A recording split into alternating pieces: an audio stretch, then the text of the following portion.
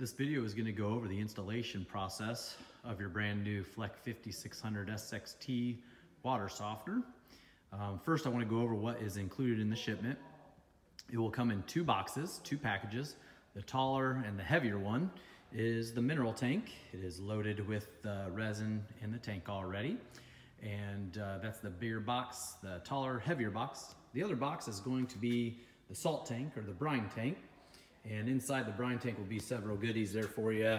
It's gonna have the safety float, um, brine well. Um, notice uh, you may or may not have the sticker on there, but the brine line is in, in inside here. So there's a brine line 3 8 outer diameter tube we'll get to here in a few minutes.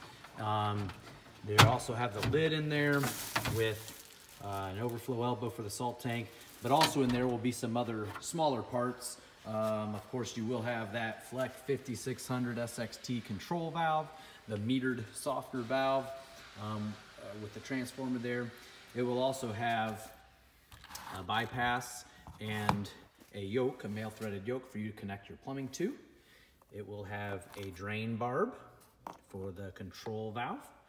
It's gonna come with this upper basket here. It may be different colors. There's white, gray, tan, I think, and then a red one. Um, really, you can use it if you'd like. You don't have to.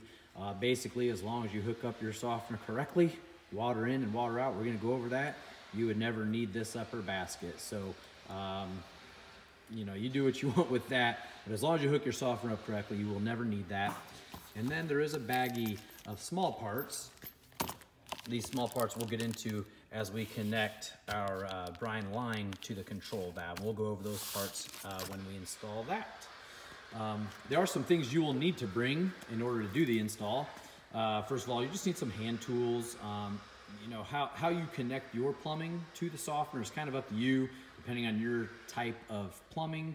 Uh, we recommend some flexible hoses uh, for the install that makes it go uh, pretty quick. But you'll just need some hand tools, um, uh, some Teflon tape, you also need some sort of lubrication. Cooking oil does a great job if you don't have any lubrication there. So cooking oil would do well for you.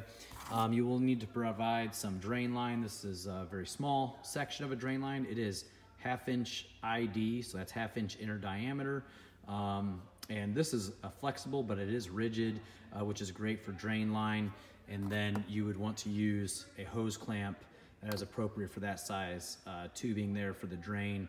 And of course, we'll go over all of that during the installation. But that is what you will have uh, in your shipment and then what you will need to bring in order to uh, do the install. The next thing we wanna do is connect the control valve, the 5600 SXT Fleck valve to the top of the tank.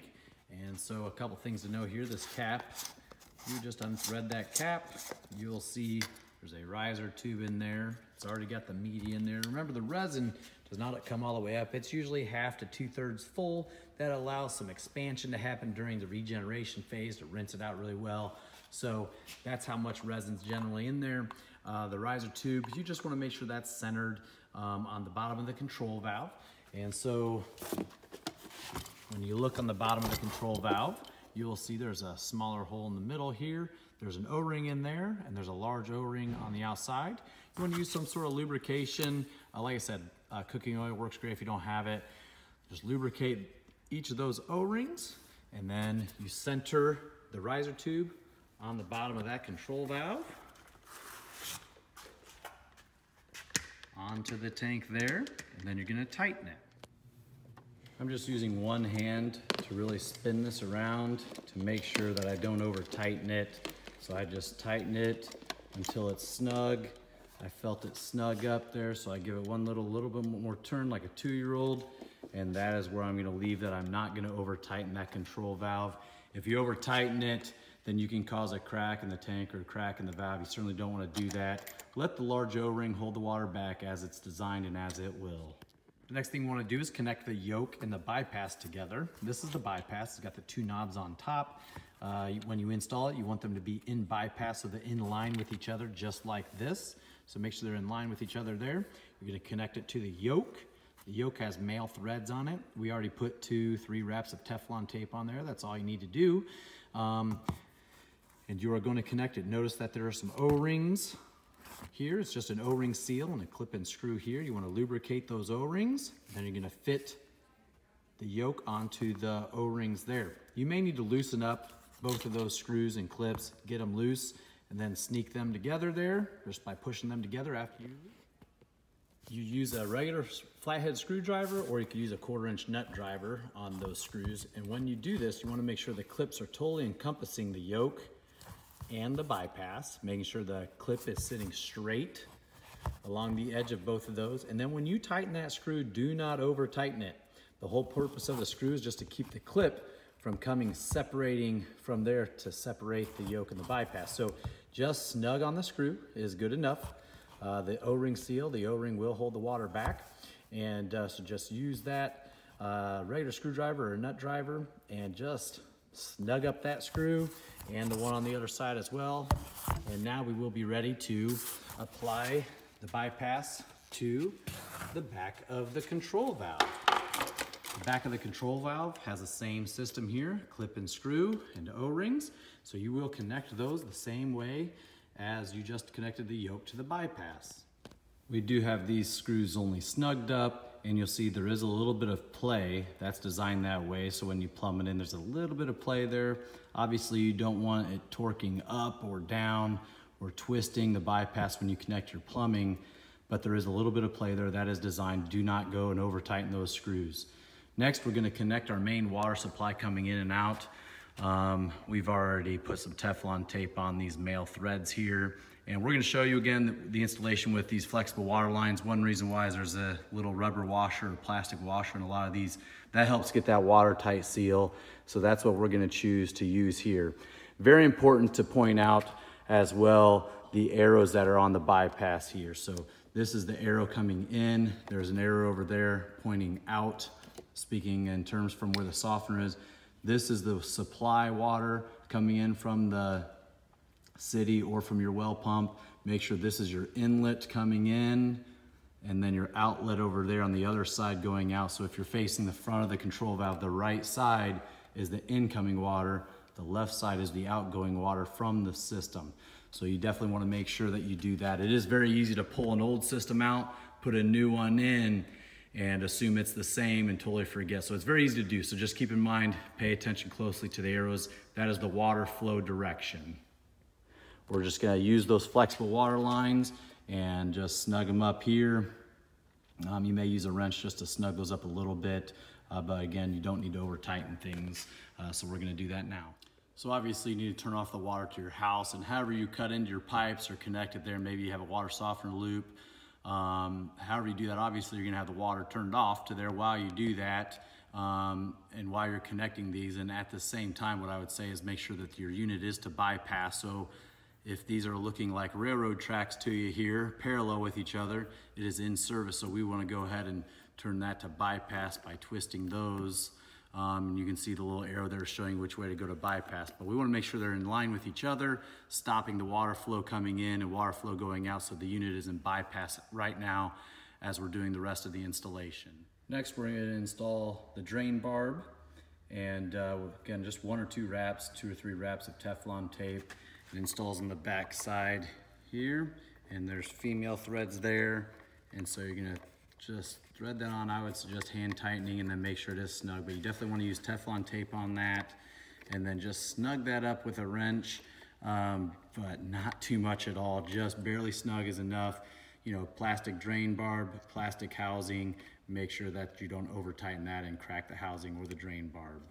And then we're gonna install our drain line. Again, I'm showing just a small section of a drain line as an example uh, with a hose clamp. Um, so just put the hose clamp on the hose and then you're gonna just push that on to the drain barb, your drain line, however you do this. You're just gonna push that onto the drain barb here and then use the hose clamp to just snug that up so you don't have any leaks.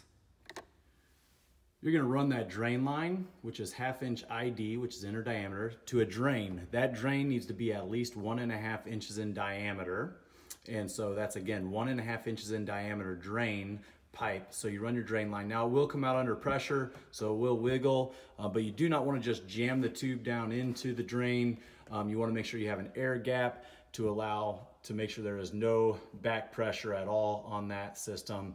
Uh, so again, that's a one and a half inch drain pipe that you're running your drain line to and make sure you have an air gap.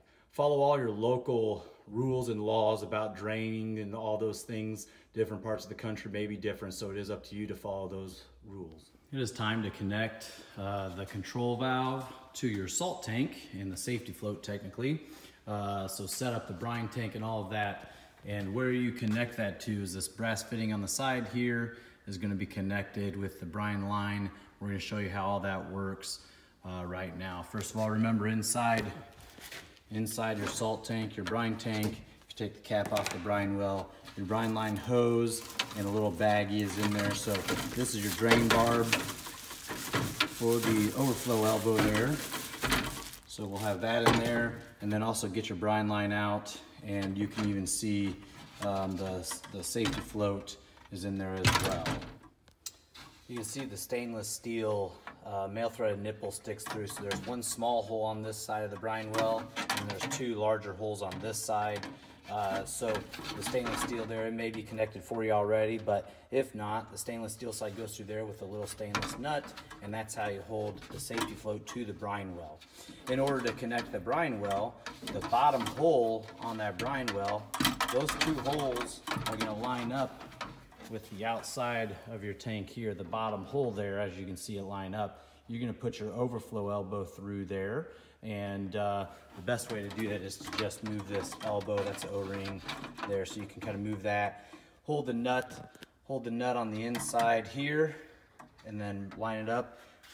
Put the male threads through there, and then just snug it up. As you can see, the drain barb here uh, for the overflow elbow. If you had a hard time putting your hand through there to hold it there, you can. Obviously, you can take this nut off, pull the float out, that comes out, and then put that overflow elbow, drop the flow back in and put it through there. So you can obviously do that. We just find it easier to, uh, to just slide it out of the way and just put that there. But anyway, now we're just gonna loosen this nut on the top of the elbow here. The top of the elbow, just loosen that up quite a bit.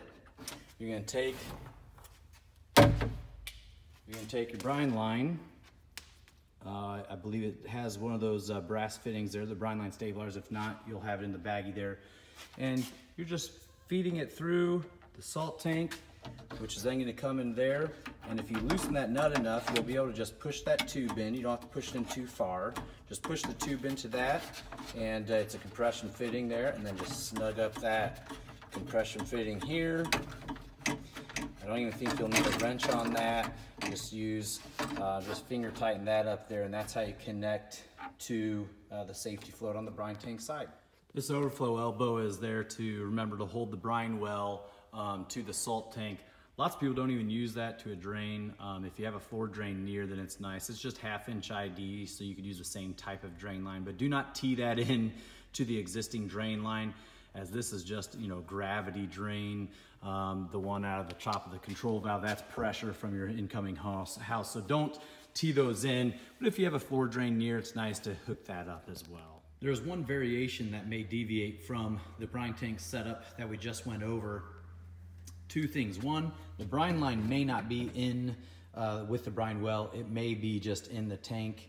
Um, it may just be there, not in the brine well, maybe uh, like a different color than black. We showed a black one, but it's just a 3 8 inch diameter tube. But so it may not be in there, it may just be in the brine tank itself. And also, it may not get installed in the corner, it may get installed on the side. You would see the holes that would be on the side, but that's the only variation. So, not much difference as far as how it connects to the float and all of that, and how it connects to the brine well itself. But it may just be on the side of the tank. Just be aware that there are some variations to that. Now that we have the brine line attached to the safety float, the salt tank, uh, we are now gonna connect the other end to this brass fitting here on the right side of the control valve here. Those, this is where you use the little brine line pack here. Um, you'll see these four small pieces. This stabilizer, stabilizer may or may not be in the tube already. Uh, if not, it's right there and it's just, it just goes in the end. And we're gonna show you how to do that. This is a little screen here. We suggest that you don't use that. Um, it ends up clogging, uh, causing more issues than than necessary. So we recommend they just throw that away. There is another screen in the injector housing here that does get backwashed with the unit that is doing the same thing. So that's what we recommend you use. So you first put the brass nut onto the brine line, then you put this white ferrule fitting. The white ferrule fitting is tapered.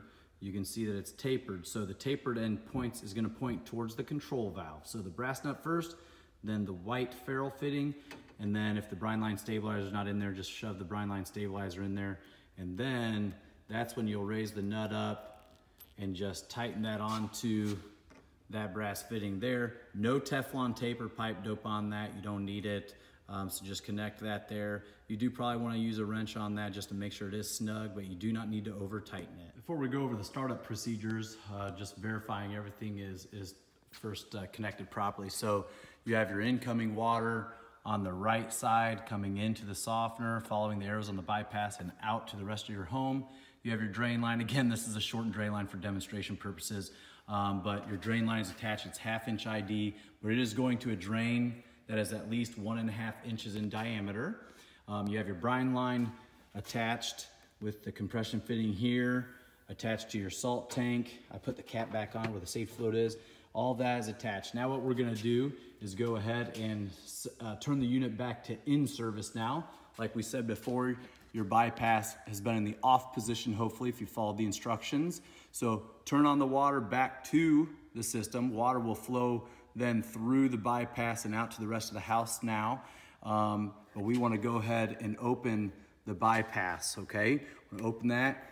We wanna open this and slowly open it over the course of five or seven seconds. You're gonna hear water rushing into the tank and all of that, but don't crank that open quickly. Let the water just uh, slowly, kind of gradually gain momentum.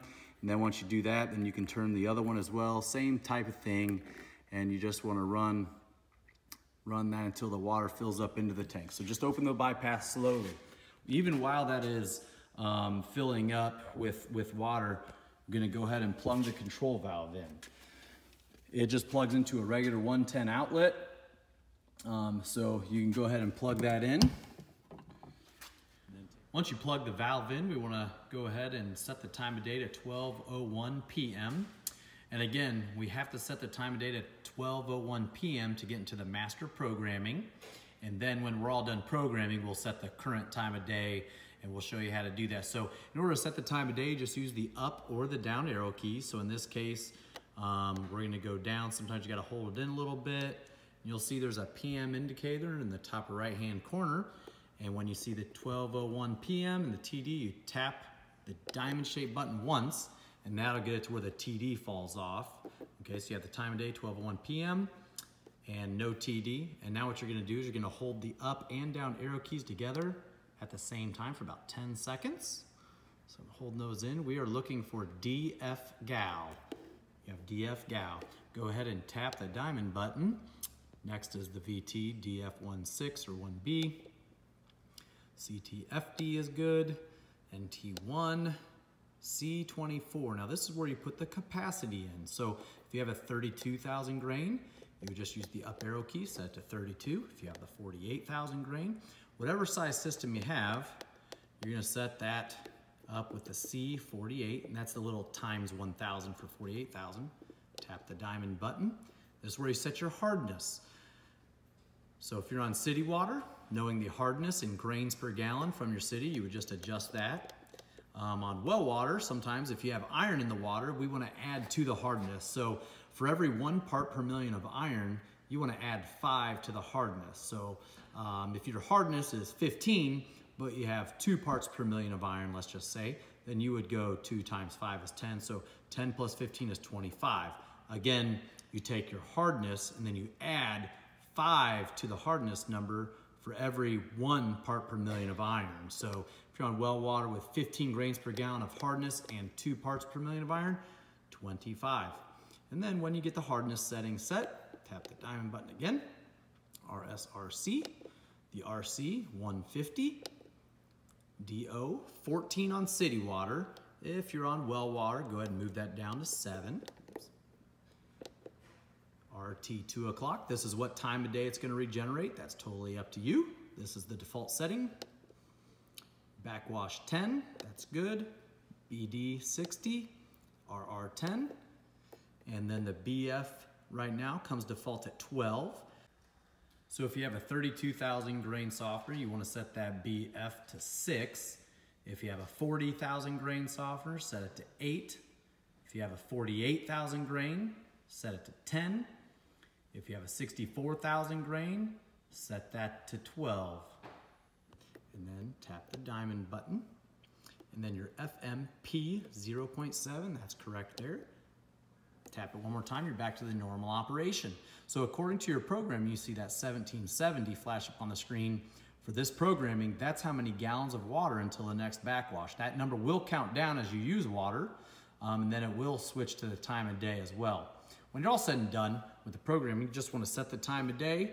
Um, let's just pretend it's it's uh, 12:45 p.m. So we just raise the time of day here, whatever time of day it is there. Go ahead and set the time of day. Tap the diamond button, and you have the system programmed. Now what we want to do is we do want to do a backwash. Um, we have already have our plumbing where it's in service. We have it plugged into the wall. We have it programmed. In order to do a backwash, you just hold in this diamond shaped button here for about five seconds. And the first thing you see will be BW. See four dashes, BW. And now it's gonna go through a regeneration phase. Now ours obviously is not hooked up to actual water, but during this BW, you will hear water rushing to the drain, out the drain line. So um, just let it do this full regeneration process. It takes about an hour and a half. And um, it's gonna go through four stages, BW, then BD, then RR, and BF. And while it's sitting here in the BW right now, what you wanna do is go ahead, take the lid off there, go ahead and put at least one bag of salt in the salt tank, um, and then add one or two gallons of water. And you just wanna have that done you know, this is gonna count down from 10 minutes in the BW. Just make sure you have the, the at least the one or maybe two gallons of water in the salt tank uh, before that time is up and then let it go through this whole process, okay? At the end of this whole thing, the hour and a half or so, it's gonna put back in there a different amount of water. It'll be more water than one or two gallons. It'll put back in a different amount, but the right amount according to your settings that you have on your softener that we just went through. So after it's done that manual regeneration, then remember to run that tap that's close to your system, cold water only until it's clear and there's no air in there. Um, so remember to do that. But after that, um, you know, you've got the one bag of salt in your salt tank already. We want you to keep at least one bag of salt in that tank at all times. Other than that, you could fill it all the way up, but make sure there's at least one bag of salt in that tank at all times. Um, but again, um, do that, uh, run that tap that's close there, run it till it's clear, get all the air out. And then keep in mind, it does take two, sometimes three weeks to get the full effects of soft water through your house. So don't panic day one if you test your water and there's still some hardness there. Um, it does take some time for two reasons. One, we wanna make sure that resin gets fully charged with a couple good regenerations.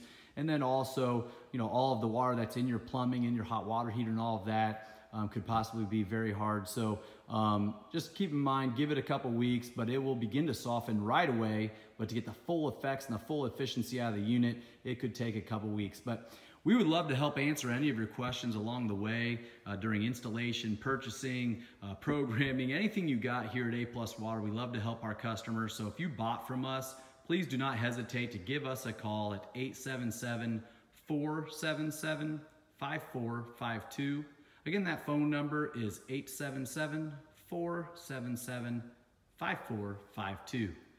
Thanks and enjoy your water.